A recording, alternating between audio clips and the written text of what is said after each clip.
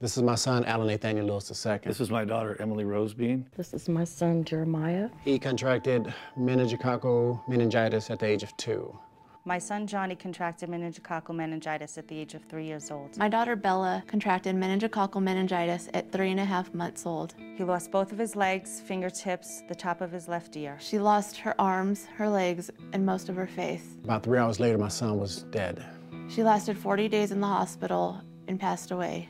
I'm Wendy Meggs, a registered pharmacist. I have helped many families struggling to treat infants and children infected with meningococcal bacteria. My own daughter contracted the disease when she was eight years old.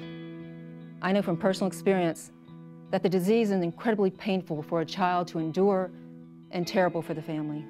Aside from injuries and neonatal complications, meningococcal disease is among the leading causes of preventable infant death in the United States.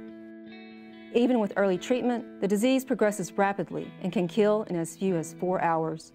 Approximately 1 in 16 infants who contract meningococcal disease will die from it. Even at their peak annual mortality rates, each year there are more deaths from meningococcal disease than there are from mumps, rubella, and rotavirus, other infections for which infants currently receive vaccinations. Of those who survive meningococcal disease, as many as one in five will suffer from amputations, seizures, paralysis, hearing loss, blindness, and learning disabilities. Today, vaccines against meningitis are approved for children as young as nine months of age.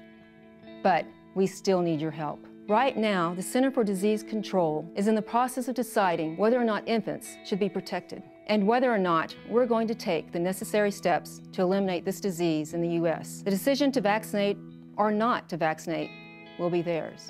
The CDC will be accepting public input on this important decision, and your voice can make a big difference.